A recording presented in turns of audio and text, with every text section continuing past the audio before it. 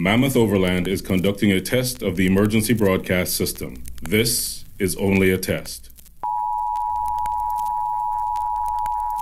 Had this been an actual emergency, you would have received instructions to hook up your extinction level event Mammoth and explore fearlessly.